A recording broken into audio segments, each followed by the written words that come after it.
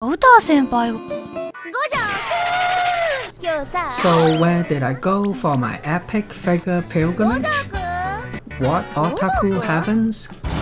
Hello, 大家好 and Utaha fan. Some of you might be wondering where I was off to.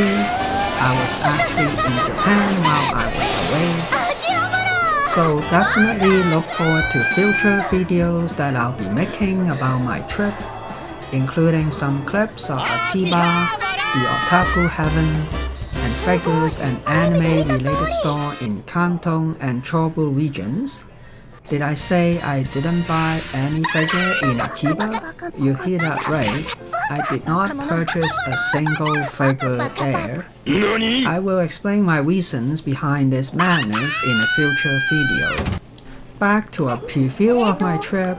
I wish I could spend more time there as I couldn't really hit up all the shops I wanted to. Obviously, I went to Amiami store in Radio Kaikan in Akihabara and I had tons of fun there. Here is some sneak peek footage of the display case showing some up and coming figures as well as older figures on permanent display. Amiami second-hand store is currently closed. They are moving to another building close to Radio Kaikan. So we'll probably talk more about that in a future video.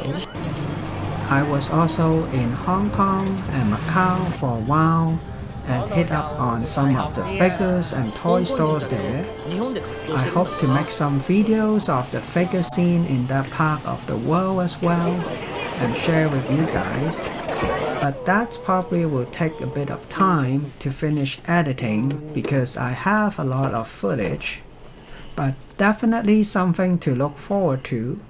I was lucky enough to have my best friend Ionae as my guide when I was in Macau, so thanks so much for his help, and thank you so much for him being an instrumental part of this channel.